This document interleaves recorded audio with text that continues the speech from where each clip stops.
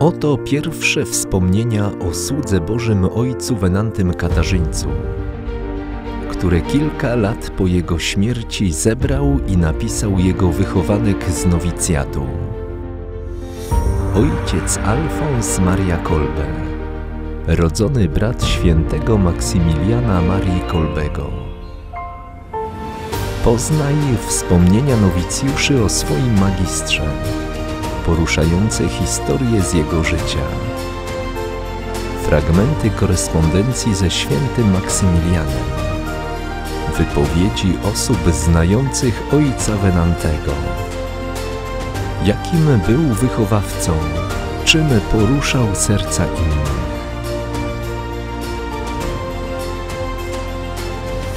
Łomki z życia ojca Wenantego Katarzyńca po ponad 90 latach znów dostępna.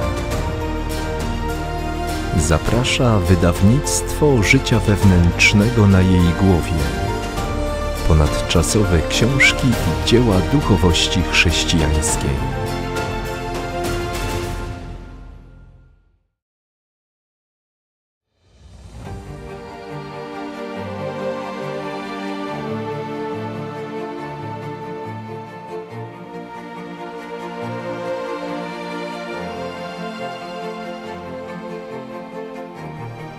Spotkanie ze świętym Ojcem Pio.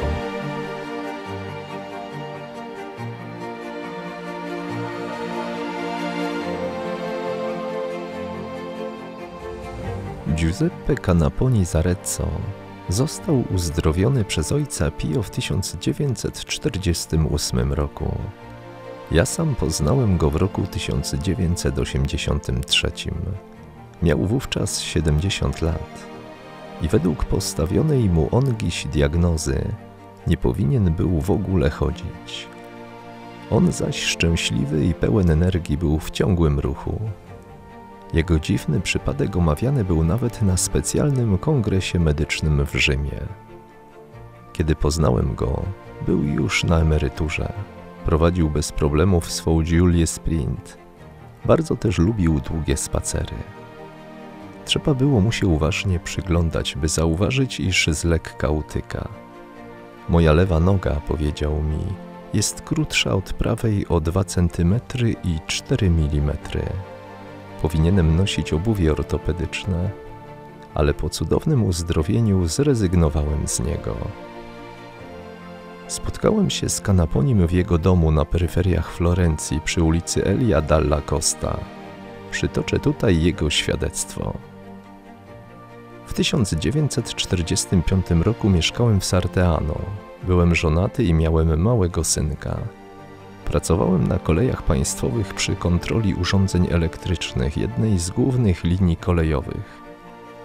Rankiem 21 maja wstałem jak zawsze bardzo wcześnie. Wsiadłem na motocykl i pojechałem do pracy. Przejechałem około 200 metrów, kiedy potrącił mnie samochód ciężarowy. Zawieziony zostałem do szpitala w stanie nierokującym żadnych niemal nadziei na przeżycie. Wskutek zderzenia się z ciężarówką doznałem pęknięcia podstawy czaszki, pęknięcia lewego łuku brwiowego, uszkodzenia bębenka usznego, złamania kilku żeber i złamania lewej nogi aż w pięciu miejscach. Długo pozostawałem na granicy życia i śmierci. Powoli jednak dochodziłem do siebie, aż wreszcie uznano, że niebezpieczeństwo minęło. Powrót do zdrowia był wprawdzie długi, ale niemal całkowity. Wyjątek stanowiła noga. Była tak fatalnie połamana, że lekarze nie zdołali jej dobrze złożyć. Jeździłem od szpitala do szpitala. Leżałem w Sorteano, Chiusi i Montepulciano aż w końcu 10 maja 1946 roku trafiłem do kliniki ortopedycznej w Sienie, gdzie przez półtora roku byłem pod opieką profesora Leopolda Giuntilniego. Później przyszła kolej na szpital Rizzoli w Bolonii. Po pierwszych operacjach uszkodzenia kości udowej zostały częściowo zaleczone, lecz wskutek całego szeregu powikłań Noga pozostała zupełnie sztywna. Lekarze mówili o włóknistym zesztywnieniu lewego stawu kolanowego i nie potrafili mnie wyleczyć. Ponadto rany wywołane rozlicznymi zabiegami chirurgicznymi nie goiły się. Ponieważ wszelkie próby uelastycznienia stawu zawiodły, lekarze ze Sieneńskiej Kliniki Ortopedycznej postanowili spróbować prowokowanego zgięcia stawu kolanowego na aparacie Zuppingera zastosowaniem narkozy. Narkoza nie tylko miała służyć jako środek znieczulający, lecz działać również rozluźniająco na mięśnie nogi, tak żeby kolano było swobodne. Niemniej jednak blokujące je przystawowe mięśnie i więzadła były tak silne, że i ten zabieg okazał się bezskuteczny. Na domiar złego z powodu przesilenia nogi na aparacie doszło do ponownego pęknięcia kości udowej i musiałem przeleżeć trzy kolejne miesiące z nogą w gipsie. Na początku 1948 roku, opowiada Kanaponi, wypisano mnie ze sieneńskiej kliniki ortopedycznej jako nieuleczalnie chorego. Słowem, przez całe życie miałem pozostać ze sztywną nogą. Szukałem pomocy w klinice Rizzoli w Bolonii po badaniach, prześwietleniach i konsultacjach uznano, że można by spróbować jeszcze jednej operacji, lecz z nikłymi szansami na powodzenie. Dodano też, że nawet gdyby zabieg przyniósł poprawę, byłaby ona minimalna. Wobec podobnych perspektyw nie odważyłem się na kolejną operację. Byłem załamany i rozwścieczony jak zranione zwierzę. Nie chciałem się z nikim widywać. Nie chciałem żyć. Cały mój ból wyładowałem na żonie, która starała się dodawać mi otuchy. Poruszałem się o kulach, lecz udawało mi się wlec sztywną nogę jedynie przez parę metrów. Więcej nie dawałem rady. Noga bowiem pokryta była krwawiącymi ranami, które sprawiały mi ogromny ból. Często próbowałem chodzić sam, ale kiedy upadałem na ziemię, krzyczałem z wściekłości, bluźniąc przeciw Bogu i wszystkim ludziom. Moja żona była wierząca, ja nie. Chodziła do kościoła, a ja jej ubliżałem. Bluźniłem przeciwko Bogu, żeby jej dokuczyć. Często z tego powodu płakała. Jednego dnia przybył do naszej parafii zakonnik, który miał poprowadzić katechezę. Pochodził z Sarteano. Dowiedziawszy się o moim przypadku, chciał porozmawiać z moją żoną, by dodać jej otuchy. Podszedł do niej i spytał: Dlaczego nie zawiezie pani swego męża do San Giovanni Rotondo, do ojca Pio Kapucyna, który czyni cuda? Żona powtórzyła mi te słowa z nadzieją w głosie, lecz ja wybuchnąłem ironicznym śmiechem, wykrzykując przekleństwa i obelgi również pod adresem ojca Pio. Żona nie chciała stracić tej szansy, to też kilka razy napisała do ojca Pio, nie otrzymując jednakże żadnej odpowiedzi. Nie dawała za wygraną i znów zaczęła ze mną rozmawiać na ten temat i nalegać, bym w końcu przystał na jej prośby. Tymczasem moja sytuacja pogarszała się z dnia na dzień. Przeczuwałem, że to już koniec. Wpadłem w bezgraniczną rozpacz. Pod koniec roku poddałem się. Dobrze powiedziałem do żony. Spróbujmy jeszcze tego. Postanowiliśmy wyjechać w Wigilię Bożego Narodzenia ale dwa dni wcześniej dostałem silnego ataku kolki nerkowej.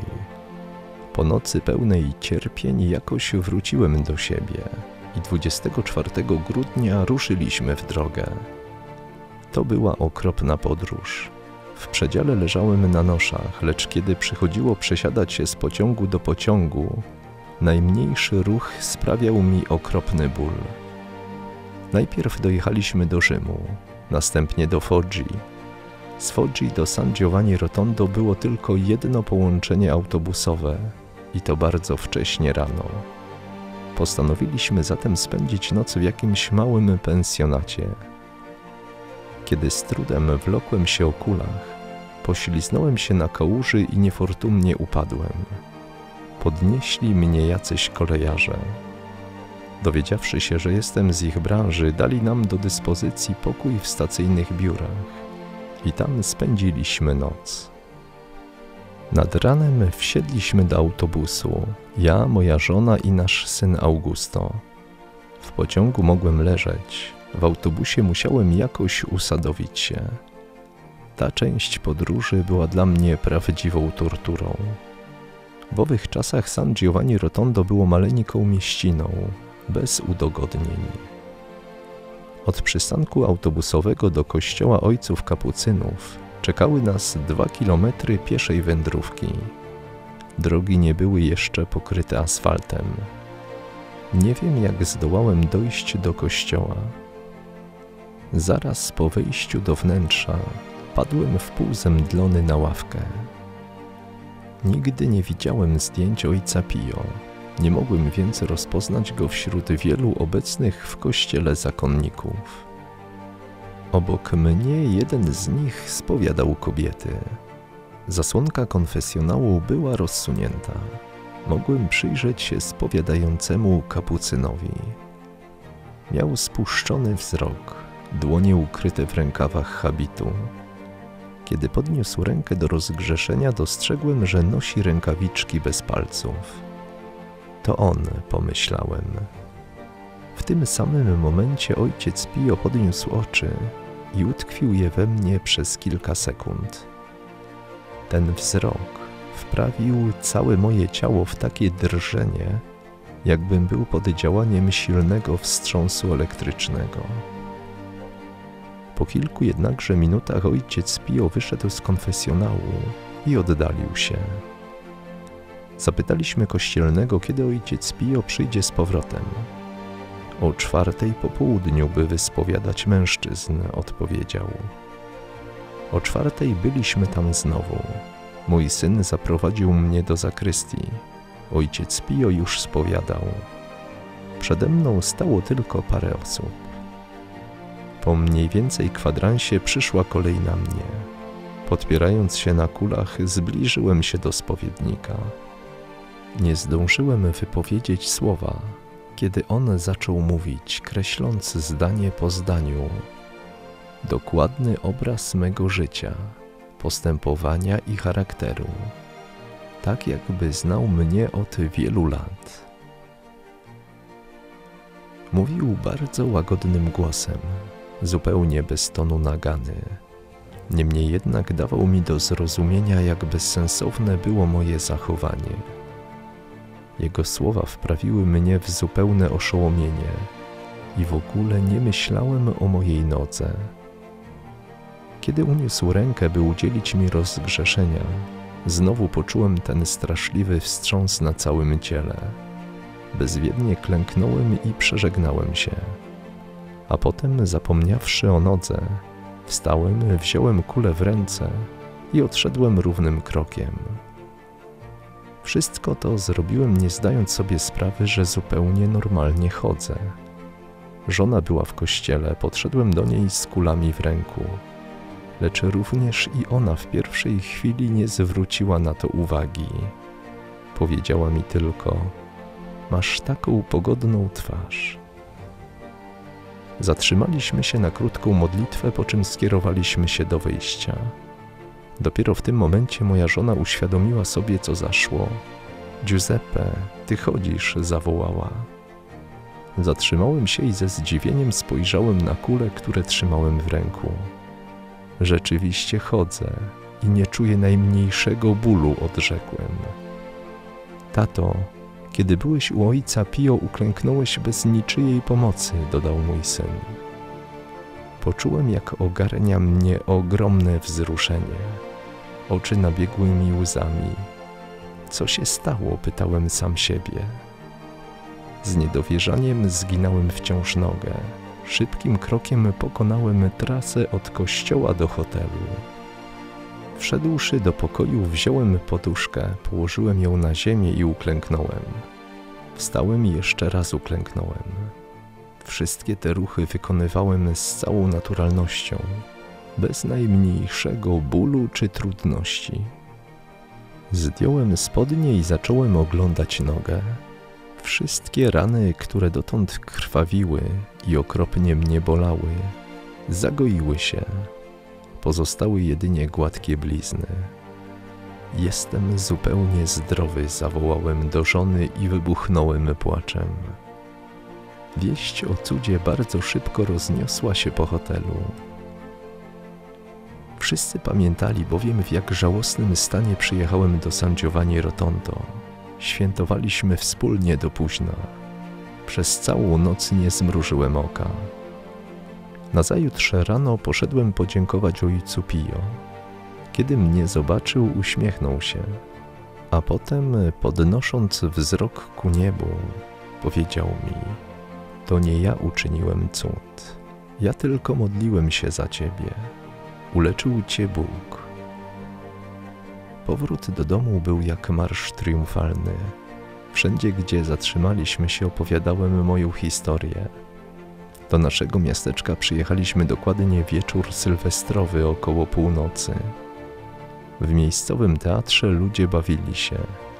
Weszliśmy do środka i zaczęliśmy tańczyć. Wszyscy dobrze znali mój poprzedni stan, to też widząc mnie puszczającego się w taniec osłupieli. Rozstąpili się i wpatrzeni w nas trwali w milczeniu.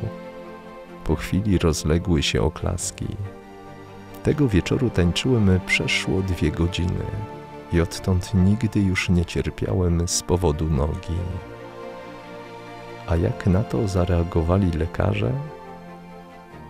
Pojechałem na badania do kliniki w Sienie, ciągnął dalej Kanaponi. Lekarze byli zaszokowani. Po pierwsze, widząc mnie poruszającego się bez najmniejszego problemu. Po drugie, zdjęcia rentgenowskie wykazały, iż nic się w mojej nodze nie zmieniło. Włókniste zesztywnienie lewego stanu kolanowego nie ustąpiło. W świetle nauki było niemożliwe, żebym chodził. Wobec tego profesor Giuntini mój dziwny przypadek postanowił przedłożyć szerszemu audytorium lekarskiemu na kongresie w Rzymie.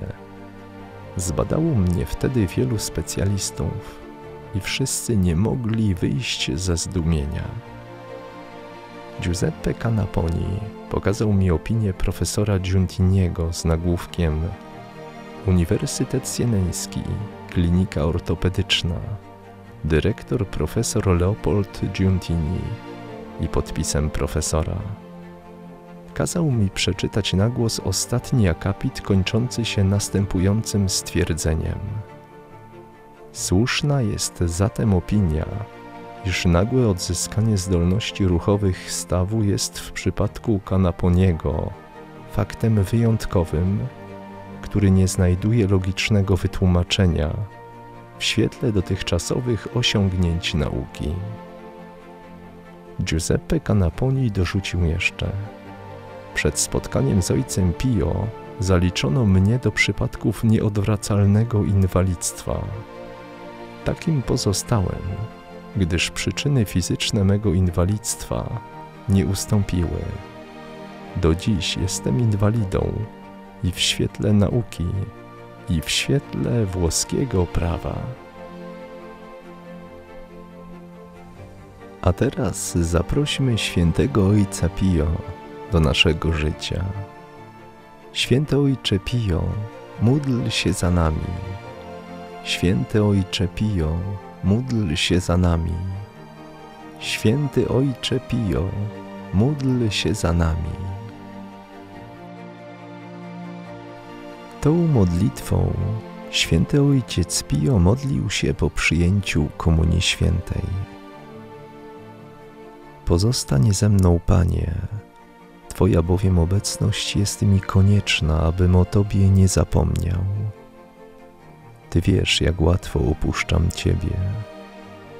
Pozostań ze mną, Panie, bo jestem słaby i potrzebuję Twojej mocy, abym tak często nie upadał Pozostań ze mną, Panie, bo Ty jesteś moim życiem, bo bez Ciebie popadam w zniechęcenie. Pozostań ze mną, Panie, bo Ty jesteś moim światłem, bo bez Ciebie pogrążam się w ciemności. Pozostań ze mną, Panie, aby mi wskazać Twoją wolę. Pozostań ze mną, Panie, abym mógł słyszeć Twój głos i iść za Tobą. Pozostań ze mną, Panie, bo bardzo pragnę Ciebie miłować i zawsze być z Tobą. Pozostań ze mną, Panie, jeżeli chcesz, abym Ci dochował wierności. Pozostań ze mną, albowiem moja dusza, choć taka biedna, pragnie być dla Ciebie miejscem pociechy i gniazdem miłości. Pozostań ze mną, Panie Jezu, albowiem ciemność zapada i dzień się kończy. To znaczy, że życie mija, a zbliża się śmierć, sąd, wieczność. To też muszę odzyskać siły, by w drodze nie ustać. Stąd też potrzebuję Ciebie. Ciemność zapada i śmierć się zbliża. Lękam się mroków, pokus, oschłości, krzyży, cierpień.